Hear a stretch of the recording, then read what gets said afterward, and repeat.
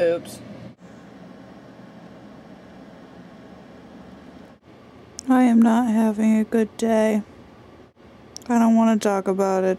Ever have one of those days that just needs to be enveloped by the universe? Never fear. Tomorrow shall be better.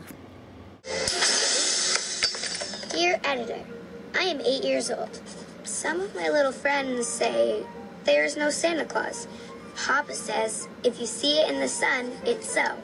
Please tell me the truth. Does her light fixture look vaguely phallic?